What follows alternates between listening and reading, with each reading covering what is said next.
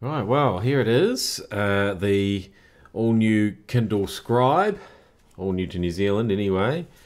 And um, uh, so it's a sort of a, a, give and take situation, if you like, uh, with this device. Uh, because you get pretty much all the premium features of a premium Kindle, uh, but not quite all. But then you get a couple of extra ones that you obviously don't get uh, with any other Kindle. So um, yeah, so one of the big features, of course, is it's now a 10.2 inch screen. So it's a massive uh, screen, similar to you know other big tablets, really. Uh, so it's not just a little a little book anymore.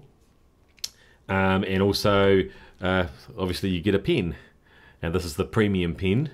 Uh, it it comes with the basic pen as as a default, and then for a few extra bucks you can upgrade to the premium pen. So why wouldn't you upgrade to the premium pen? Because you get a few extra features for that. Uh, so that's good. Uh, what you're missing out on is uh, it doesn't do the wireless charging uh, that we've seen in a recent Kindle model, and you know what a fan of wireless charging I am and also it, uh, there's no uh, IP rating for water resistance, so I don't know if you want to be using this by the pool or at the beach.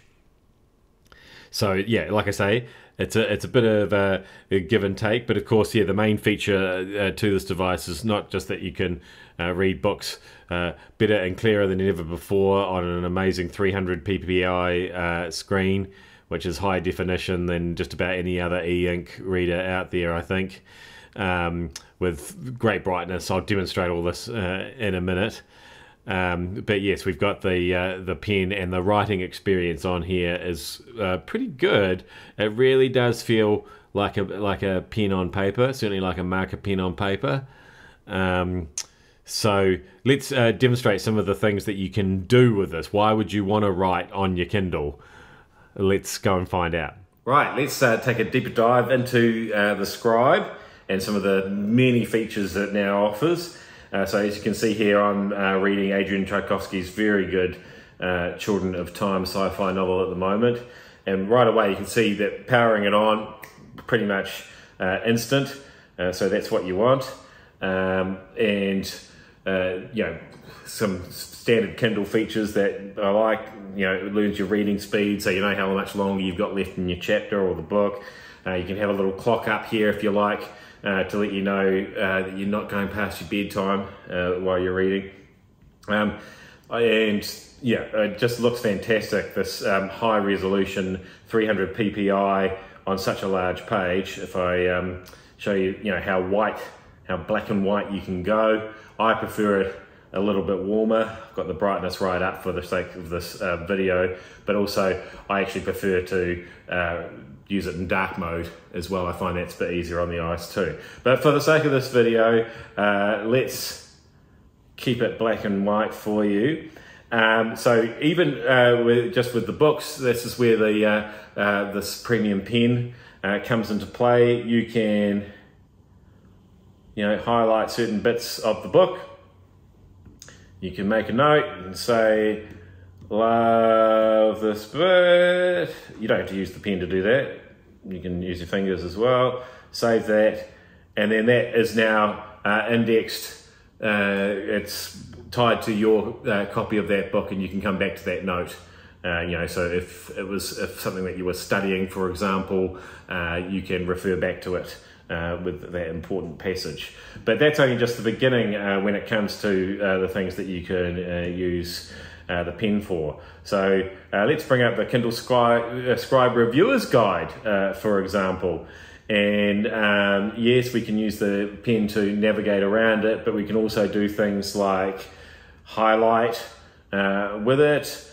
Um, we can customize the pen as it says here. Uh, so I've actually got a customizable uh, shortcut on the pen. So you can make that, you know, your eraser or um, it can be a pencil or in this case, uh, it can actually be a fountain pen. Look how fancy my name looks when I write it with a fountain pen as opposed to when I write it in highlighter. Didn't mean to do that. So let's rub that highlighter out just like that. And yeah, This is just a normal pen like that. And yeah, as I said before, this matte non-glare um, surface, it really feels, it's a very natural writing experience. It's perhaps not quite like pencil on paper, but certainly it's like a pen, if not a marker pen uh, on, on paper. It's a very natural uh, feeling sensation. So all these things will stay on this document. Um, you can then uh, choose to just email that document straight from uh, the Kindle uh, to your default email address that's attached to your Kindle account or you can uh, email it to somebody else. You can email it back if you were, you know, marking somebody's essay or something like that. If you're a teacher or a professor, um, you can send that back to uh, to them. Uh, and it's easy to send uh, Word and um, PDF documents uh, to the device as well. Um, there's a uh, send a Kindle from web function, which really is it's just a web page. You log in, you know, using your um, Kindle account details and you can literally just drag documents and they will then appear uh, on your Kindle. That's how I got this um, uh, reviewer's guide into it. But that's not all, folks. That is uh, not all. So let's just uh, go back to our library and look at some of our notebooks. You can create notebooks.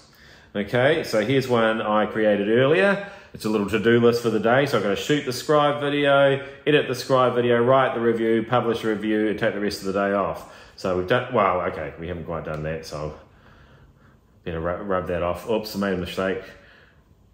Here, I'll do it that way instead. Right, and if I wanted to make an adjustment to that list, I can use the lasso tool and perhaps um, I can copy that and put it down there. So have the same thing on the list down the bottom again. Now that doesn't look uh, very nice. We've got these bits here, but once again, you know, that's easy enough to just uh, rub away. So, um, yeah, and then once I've uh, saved all, the, you know, all that list, I go back to my notebooks and I can then send that notebook off to somebody else. I can make it somebody else's uh, to-do list. Um, so I can share it and I can actually, uh, if I want to uh, convert it to text, I can do that. And it's not going to do it. Why isn't it doing it? Yeah. Convert to text and email. I think it already sent it to me. That's why it was just too efficient. Yes, I can see I've just got a notification. I've just received that to-do list. But I wanted to show you what it would look like here on the screen. So as you can see, it's um, it's literally taken all my messy handwriting and converted it to text just like that. So there are a lot of very, very useful tools, and the only price you're paying is that this is no longer waterproof and you can't charge it wirelessly. I think that is a fairly good trade off, pen included.